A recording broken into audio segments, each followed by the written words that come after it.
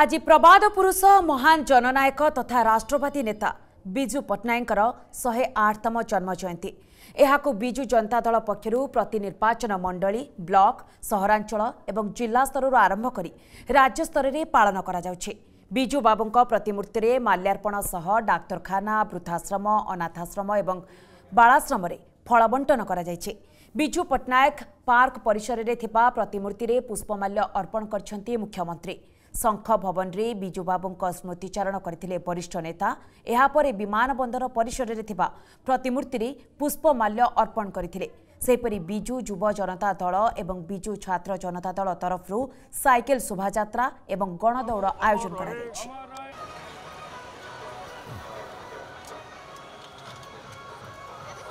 ସୁନିଶ୍ଚିତ ରୂପେ ବିଜୁ ଆମର ଆଦର୍ଶ ଗୌରବ ଖାଲି ଓଡ଼ିଶା ନୁହେଁ ଭାରତବର୍ଷ ଏବଂ ପୃଥିବୀର ଅନେକ ରାଷ୍ଟ୍ର ମଧ୍ୟ ତାଙ୍କୁ ମଧ୍ୟ ସଲାମ ଜଣାଇଥିଲେ। ଆଉ ସିଏ ଜାତିର ଗର୍ବ ଗୌରବ ଆଉ ଦୁର୍ଦ୍ଦଶ ଲଢ଼ୁଆ।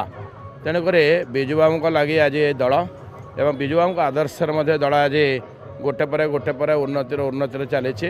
ଆଜି ୱାର୍ଡ଼ରେ ମଧ୍ୟ ଆଜି ବିରାଟ ବିଶାଳ ସମାବେଶ ହେବ ଏ ବିଜୁ ବାବୁଙ୍କ ଜୟନ୍ତୀ ଉପଲକ୍ଷେ ଆଜି ଝାରପଡ଼ା ଦୁର୍ଗା ପୂଜା ଯେଉଁ ମଣ୍ଡପ ଅଛି ସେ ପେଣ୍ଡାଲ ସେ ଯେଉଁ ଯେଉଁ ଗ୍ରାଉଣ୍ଡରେ ସେଠି ମଧ୍ୟ ଆଜି କରାଯିବ।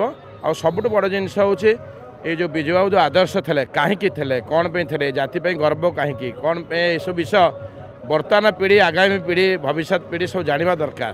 କାରଣ ଏଇଭଳିଆ ଆମେ ଯଦି ତାଙ୍କ କାର୍ଯ୍ୟରେ କିଛି ଯଦି ଆମେ କରିପାରିଲେ ତାଙ୍କ ପାଇଁ ଶ୍ରେଷ୍ଠ ଶ୍ରଦ୍ଧାଞ୍ଜଳି ହେବ।